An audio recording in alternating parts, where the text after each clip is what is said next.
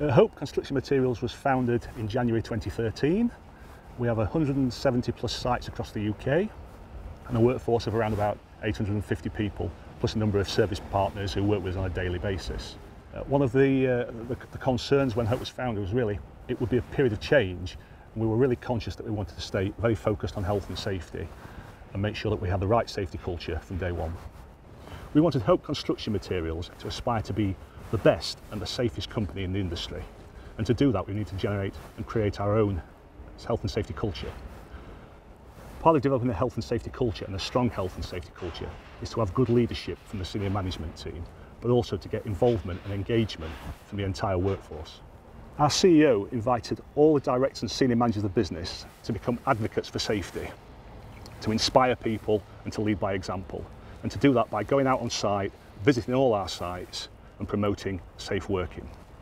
So last year, every one of our sites was visited by a director of the company and we did over 1,100 hours of visible felt safety leadership out on site.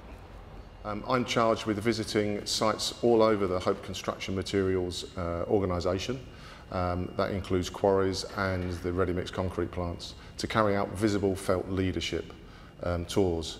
Um, from my point of view, they're very, very worthwhile, not only from uh, my perspective, where I get to learn about the organisation as a whole, but also it demonstrates that we, uh, that we lead from the front um, and we, uh, we uh, walk the talk.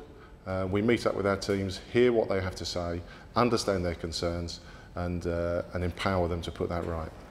Another key part of our developing a health and safety culture is to make sure that the workforce are fully involved. That's not just our direct employees, but all colleagues, service partners and our haulier population. What we'd like them to do is to intervene if they see unsafe conditions in their workplace and put those conditions right, or if they see people working in a way that puts their safety at risk, to intervene and protect them.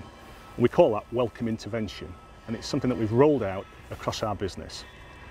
Not only that, but we want people to tell us when they've intervened, so we can recognise and say thank you to people. And we ask that they fill in a card or a book tell us what they've done to make their workplace a little bit safer. And we want people not to feel embarrassed about intervening, but to feel proud to intervene, knowing that they're looking after their colleagues and themselves and making their workplace an even safer place. To help get welcome intervention established and communicated across our business, some of the guys here at Hope Works produced a small short film that really explains what welcome intervention is about.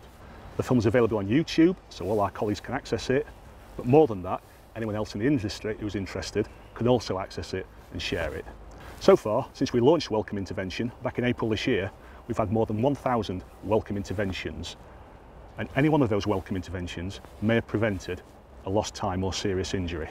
So by developing a safety culture that we can be proud of and we can involve everyone, we've had a pretty commendable safety performance to date.